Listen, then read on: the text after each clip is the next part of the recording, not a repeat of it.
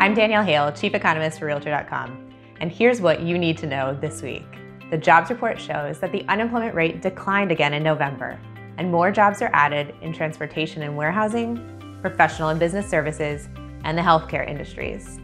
Progress is good, but again, the pace slowed, raising concerns, particularly as we still have roughly 10 million fewer jobs now than in February. And COVID case levels are high and climbing. Fed Chair Powell and Treasury Secretary Mnuchin both testified before Congress this week, urging for additional stimulus to support vulnerable households and businesses until the economy is more fully healed.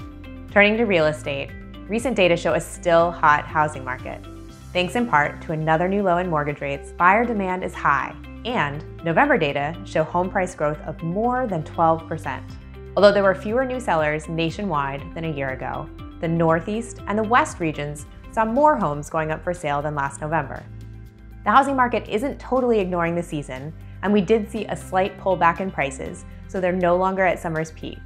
But the slowdown is much smaller than we typically see this time of year. What does this mean for what's ahead? We released our 2021 housing market forecast and economic outlook this week, and we expect the housing market to continue to have momentum in 2021. While we may see some down months, for the year as a whole, we expect home sales to rise 7% and home prices to rise another 5.7% from this year's highs. While we expect mortgage rates to remain low early in the year, by the end of the year, we see rates approaching 3.4%. That means, even though prices are expected to rise more slowly next year, buyers will see a bigger impact on monthly mortgage payments because they won't have falling mortgage rates to offset home price increases.